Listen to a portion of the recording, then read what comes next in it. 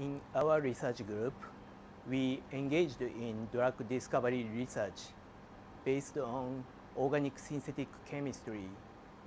In other words, in order to develop medicine like the ones you are taking, uh, especially novel drugs, we aim to use the chemical technique to produce the active compounds.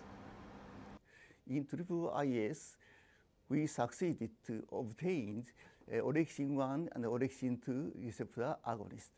And the orexin-2 receptor showed effect for the narcolepsy model mice.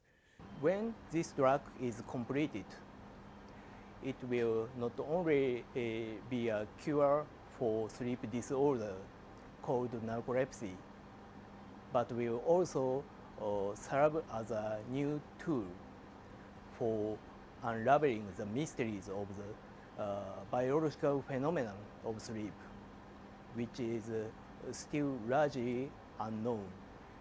And we also obtained the novel kappa opioid receptor agonist and without aversion and sedation. And this agonist showed potent analgesic activity uh, for the cancer pain.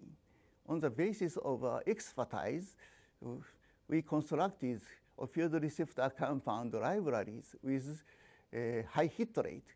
So we will try to apply this uh, compound library to the hibernation studies.